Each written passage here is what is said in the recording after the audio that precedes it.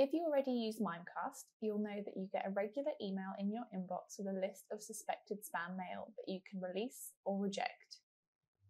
You can also view these through your web browser in the Mimecast portal. However, there is a much quicker way to view these emails, and that's through the Outlook plugin.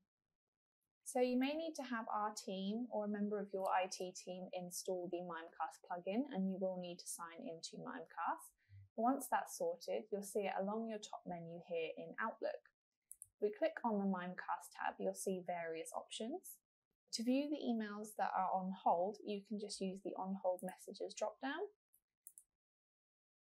This will then open your personal on hold emails. So you can scroll through, you can release, reject, or report these messages. There is also a drop down on these options. So release messages releases the message into your inbox, but future emails from the sender may be held. Release and permit address releases the message into your inbox and allows future messages from the same address to be delivered straight to your inbox. Release and permit domain releases the message into your inbox and allows future messages from the same domain to be delivered straight to your inbox.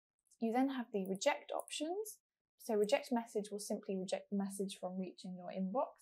All future emails from the sender may be held. Reject and block address rejects the message from delivering to your inbox Future messages from the same email address will also be blocked. And reject and block domain will reject the message from delivering to your inbox, and future messages from the domain may also be blocked. You then have the report message button, and that will basically send the message for analysis. If we come out of here, so your online inbox on here will just take you to your actual Outlook inbox, but just within the Mimecast portal itself. You can do the same things on here that you can do on the web browser portal too. And this is another way to access your on hold messages too. Another handy tip if you accidentally block a sender, so if you perhaps hit the reject and block address, you can go into your manage senders list using this button here, and that will show you any email addresses and domains that you have blocked. And if you need to, you can add a blocked email address or domain here as well.